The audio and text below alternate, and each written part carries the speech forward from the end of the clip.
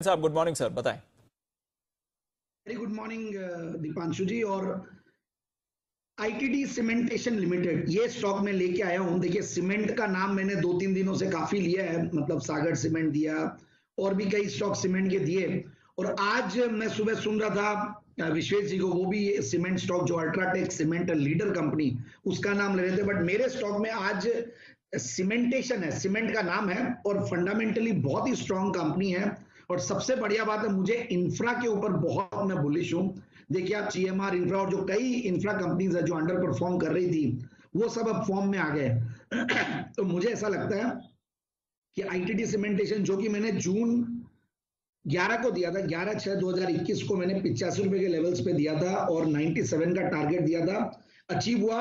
फिर लकीली वहाँ से नीचे आया हुआ है। रीजन बीइंग कि देखिए, जून का क्वार्टर बहुत अच्छा नहीं गया था कंपनी का। लाजमी था कि कुछ कोरोना का सेकेंड वेव का भी इम्पैक्ट था। बट ओवरऑल अगर आप देखें, जून 2020 और जून 2021 दोनों में रिजल्ट्स का बहुत फ़र्क है। और मार्च का जो क्वार्टर था, वो बहुत ही बेहतरीन था। अब मैं थोड़ा इस कंपनी की पेडिग्री के बारे में बताता हूँ।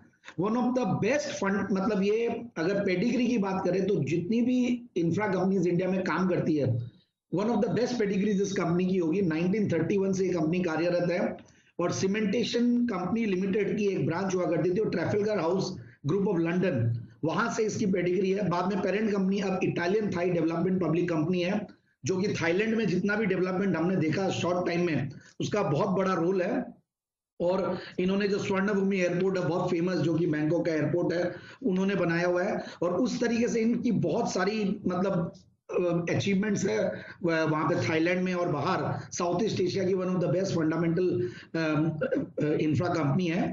बट अब अगर इनके बिजनेसेस की इंडिया में बात करूँ तो ये लोग इंडियन इंडस्ट्रियल प्लांट्स बनाते हैं बिल्डिंग्स बनाते हैं पाइपलाइंस बनाते हैं एमआरटी के प्रोजेक्ट्स करते हैं, जो भी है मेट्रो के काम दिखते हैं, वहाँ पे बहुत बड़ा काम किए हुए तो मुझे ऐसा लगता है कि इस कंपनी में जो फंडामेंटल्स है, वो बहुत बढ़िया है। पिछले सात साल की अगर सेल्स और प्रॉफिट की ग्राफ देखें तो आठ नौ परसेंट से कंपनी ग्रो करते हुए आ रही है। और जो रिजल्ट्स बीच में थोड़े से हल्के ही आते कि भाई इंफ्रा की कंपनियों में थोड़े इश्यूज़ आ रहे थे। बट ओवरऑल मुझे लगता है कि इस कंपनी में जिस तरीके का मार्च का रिज़ल्ट था, दिसंबर का रिज़ल्ट था, जून का भी ठीक ठाक ही रिज़ल्ट बोलूँगा, उससे बहुत कॉन्फिडेंस आता है। और उससे इंपॉर्टेंटली आईटीटी की तो मैंने बात करी थी पेरेंट की।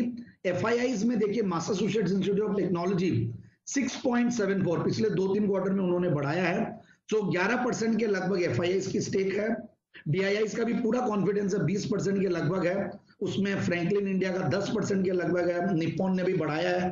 So overall I am very bullish on the stock मुझे लगता है कि स्टॉक में इन लेवल्स पे निवेश करते हैं। तो डाउनसाइड रिस्क बहुत कम है मतलब कुछ खोने को बहुत कम है।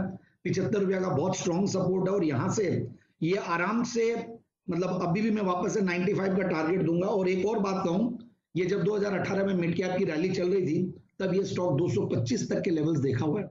तो देख लीजिए कहाँ तक पोटेंशियल है। तो इसलिए छह से नौ महीने की अवधि के लिए स्टॉक को ले 95 का टारगेट 90 95 और इवन 100 प्लस के लेवल्स दिखाएगा। चलिए तो 95 और फिर।